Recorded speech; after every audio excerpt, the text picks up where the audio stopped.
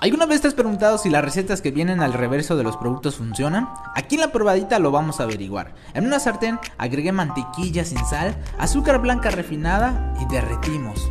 Pelamos y picamos manzana golden o la de tu preferencia, las agregamos al sartén junto con la canela y dejamos servir por unos minutos hasta que queden suaves. También utilizaré un puré de manzana totalmente casero o bien puedes utilizar uno del supermercado. Vaciamos el ingrediente principal que es la media crema Nestlé. Mezclamos muy bien y dejamos servir por 2 minutos. Retiramos del fuego, servimos y decoramos con cereza y menta. Y listo. Ya tenemos un delicioso fondue de manzana. La receta funciona tal cual como lo indica el empaque, por eso a esta receta le damos un 10. Anímate a preparar esta deliciosa receta, estamos seguros que te encantará.